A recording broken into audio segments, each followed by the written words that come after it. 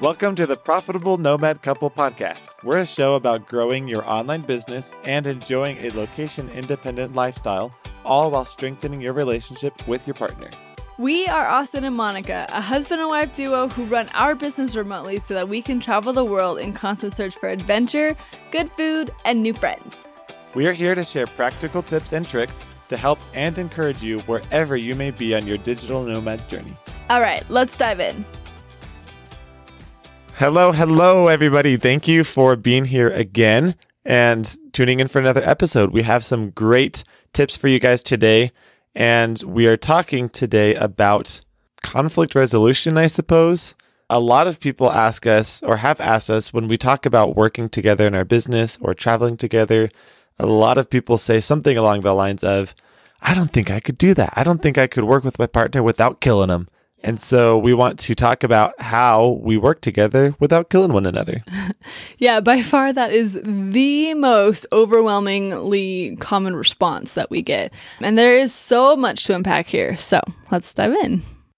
We want to, first of all, set the scene, I suppose, and let everyone know that conflicts are a natural thing just because you have a conflict in your relationship in your business that doesn't mean you're doing something wrong. That doesn't mean there's something that needs to be changed necessarily. Conflicts are natural.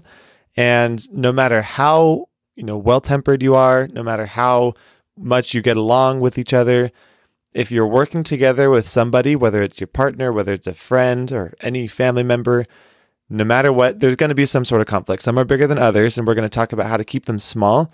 But don't think that because there's a conflict that there's something wrong. Yeah, I kind of feel like the natural tendency is to feel like any kind of conflict you have is there's something majorly wrong with the relationship, with the business, with like all of these things. And it kind of spirals into something so much bigger than it is.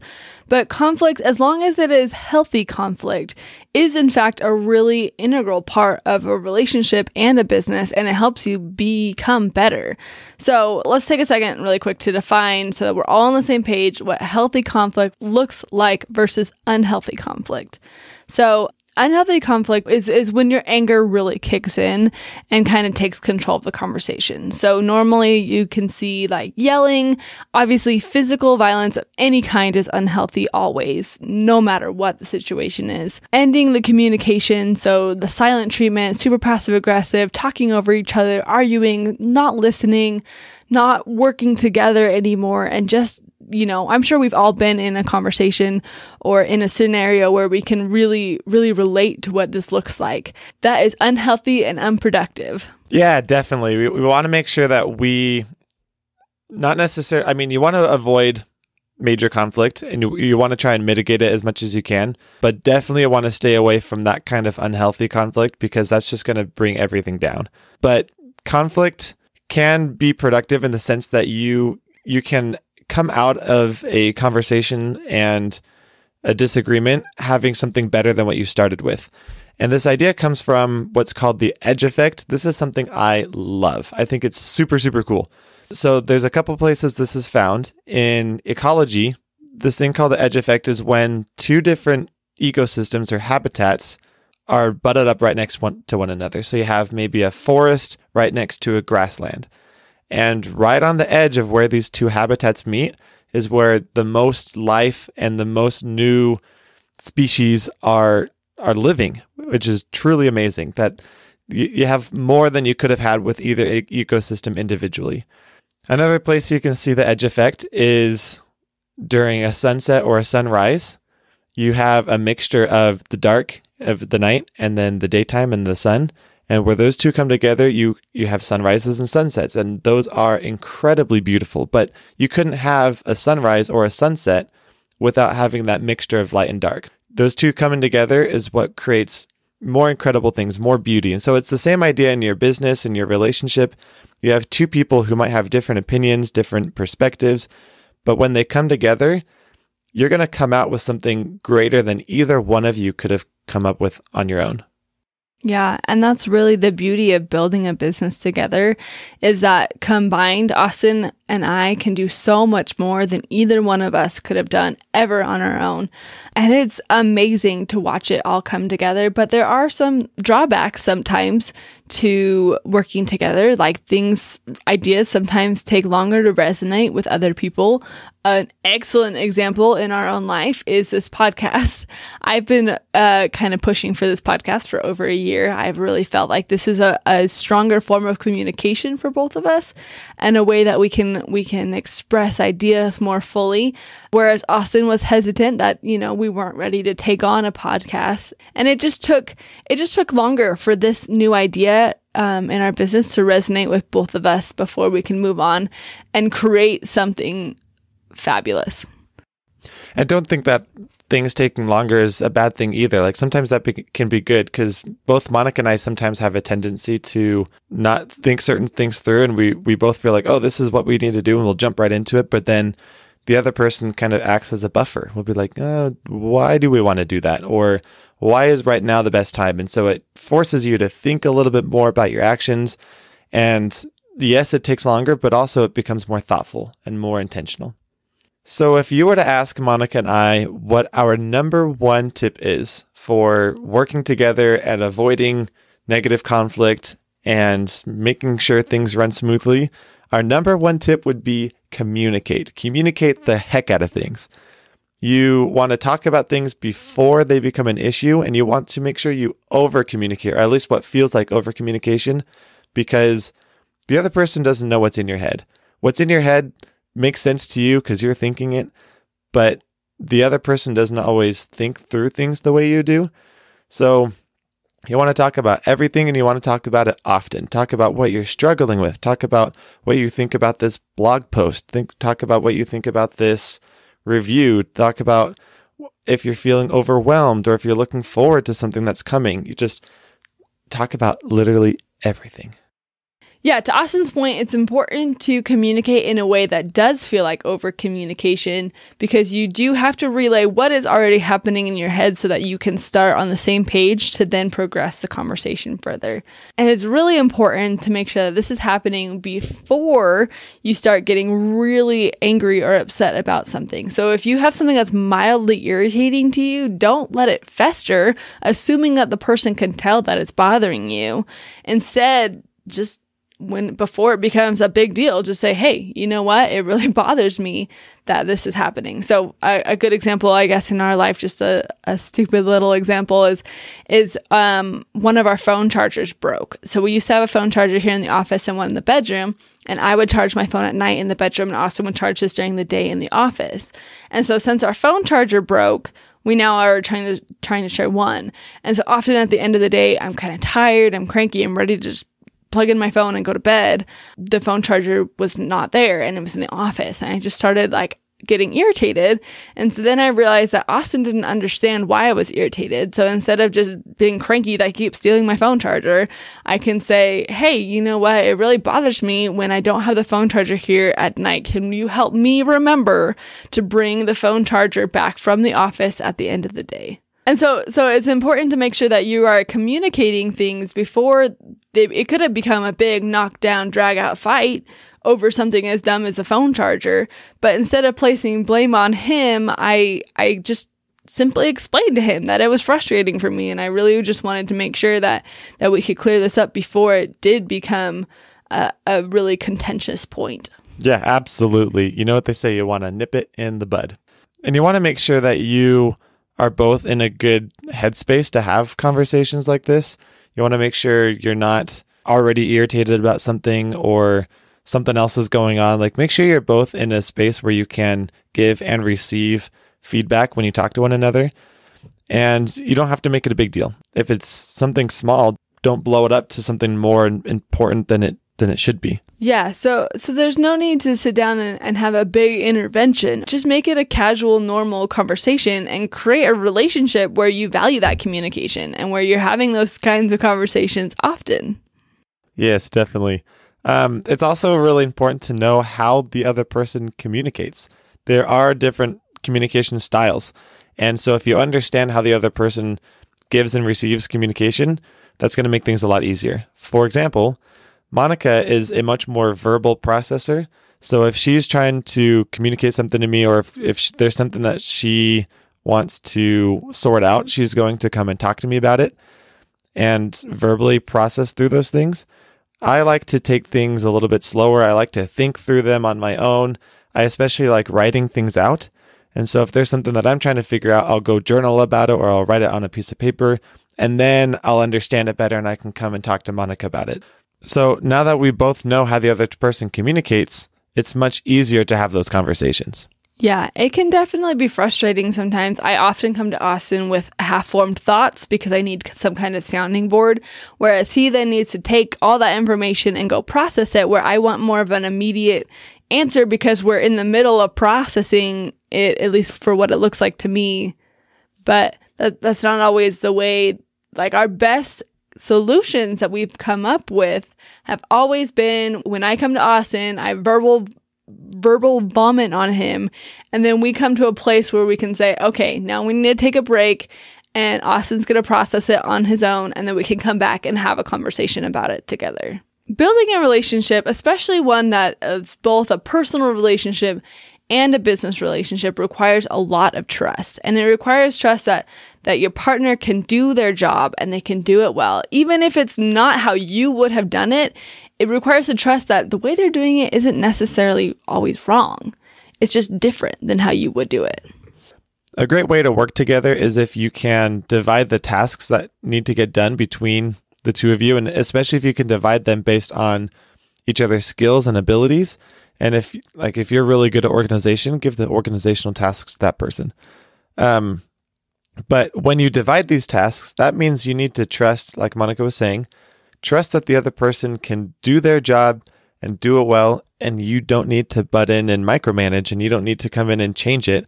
You can be confident that they're going to get it done, and that you're going to get your job done. And I mean, there has to be trust like that. You have to know that the other person's going to pull their weight. Yeah, working together can either alleviate a lot of the workload or it can double it depending on how how you end up working things out, right? So you can either divide the tasks and both work on something that you're you're good at or I could work on my task and micromanage Austin. And it's so much more work. So it's just important to make sure that you you have that trust and and you are okay with things not being done exactly the way that you would have done it. Um, and and you can do that by by knowing yourself and knowing the other person really really well. And I highly recommend that you often show appreciation for what the other person does. This is something that Monica is really good at.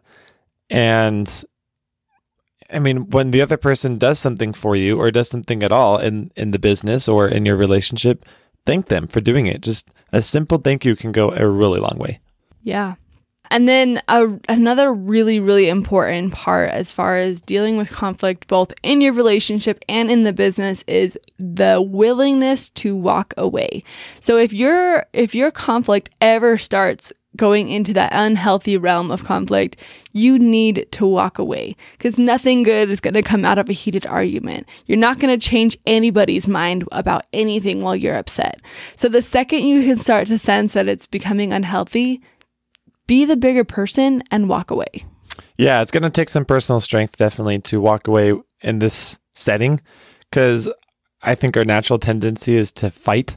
It's like if things get really heated, you want to fight, you want to win the argument, but that's not going to be productive. So walk away, be strong. And then when you are in a in a better mental space to have this conversation, come back to it after you've processed it or after you've cooled off a little bit.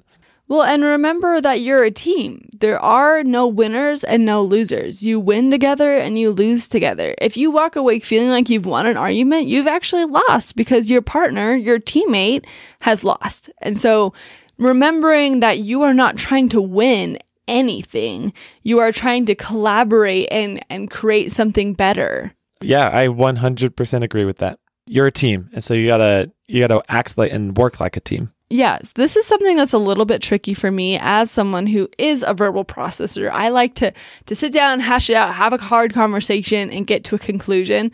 As we talked about earlier, that's not Austin's style, and so I have been learning a lot to be okay with not reaching a conclusion and talking about something multiple times and then walking away and then coming back and talking about it again. So, a really good example recently, we um, have decided to move to Europe for 2023.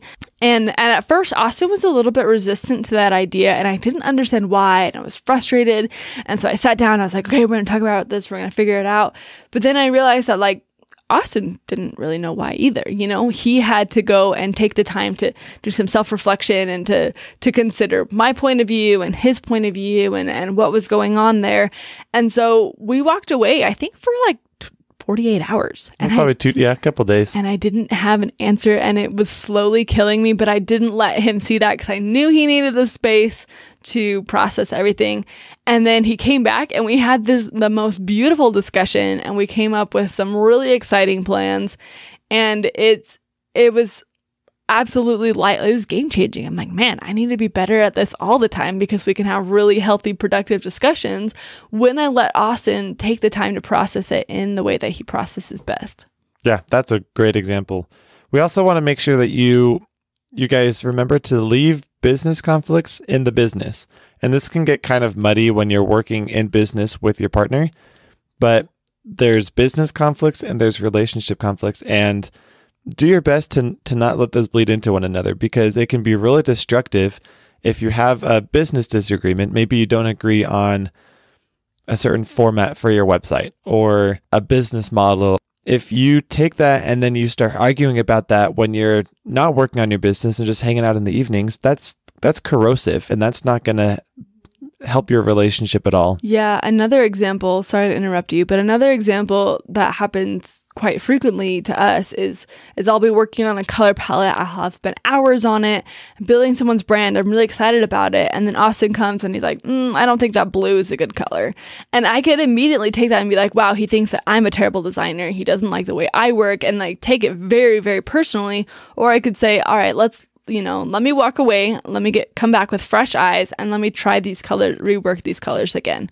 Um, so it's just important to make sure that like it's okay to point out things in the business that you don't agree with and then to make sure that you that you don't take that as a personal attack. Yeah. Possibly my favorite suggestion is find things to laugh about. Often for Monica and I it's Instagram reels. um, but you know, Instagram reels, inside jokes, outside jokes. Just find things. just be dumb. just be dumb with each other and laugh about things, tease each other, and that helps ease the tension. And also reminds you that like, you don't, you don't have to be so serious all the time about business stuff. You can have fun with it, and it should be fun. Yeah, business, starting a business together with your partner is meant to be fun as you're building a business that you love, just just keep in mind that you have the same goals and make sure you know what those are and make sure your partners knows what they are and remind each other what your business goals are, what your life goals are, why you started a business. Remind each other often and then also encourage each other to have personal goals outside the business that they're working in so that they don't lose themselves and you don't lose yourself because that could very quickly become resentment. Yeah, and remembering what your goals are means writing them down. Write them down on the notes page in your phone or on your computer somewhere on, on a Google Doc. Write them down even in a physical journal. But you want to document what your goals are, both individual, collective, for business. And that way you can go back and you can remember what you're working towards and remember that you're both working towards the same thing. At the end of the day, it's really important that coming between your business and your relationship, you always choose your relationship. Do not sacrifice your relationship for your business. It is so easy as a business owner to feel like business is life or death and that things need to happen and they need to happen right now even though it's 10:30 on a Friday night. It's really easy to let the business take over your relationship. Yeah, it is never worth giving up your relationship or sacrificing a relationship to pursue or f- advance your business or your business goals. Like ultimately, your relationship with each other is much more important. So you always want to prioritize that over everything else. Was it Brendon Burchard who said, that we have a lot of successful people, but a lot of times they're successful and alone. And it's because we don't have the goals to, you know, to get somewhere with somebody. We have the goals to get somewhere. And a lot of times getting to that place requires sacrificing all of our relationships around us. So one of the main goals of building a business together is that it brings you together and that you can reach the goal of having a beautiful, successful business, creating the life that you want, and you can do it all together. Yeah, and this goes this goes a little bit more into just relationship advice in general, not necessarily working together, although it fits. You you should put your partner's needs first. Put your partner's needs above your own. If you do that and if you sacrifice your wants and needs for what the other person wants and needs and if both of you do that, man, that's going to, the power that that has in your relationship is incredible. And you're both going to grow closer together. You're going to trust each other more. You're going to love each other more.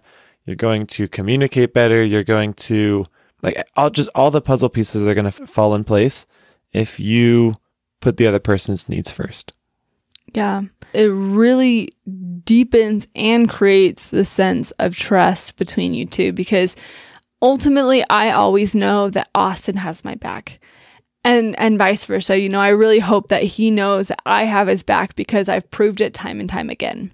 And that means you need to know what your needs are, but you also need to know and understand what your partner's needs are.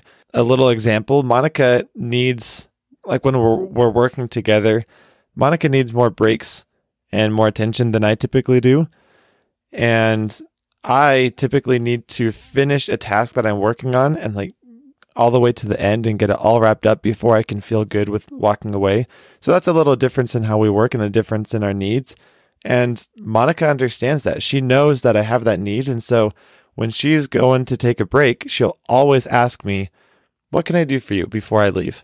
Or, you know, what's on your plate? What can I help you with? And that's that's so awesome for me to have her come and offer that.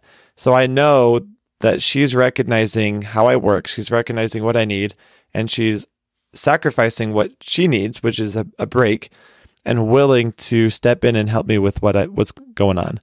And that's so incredible.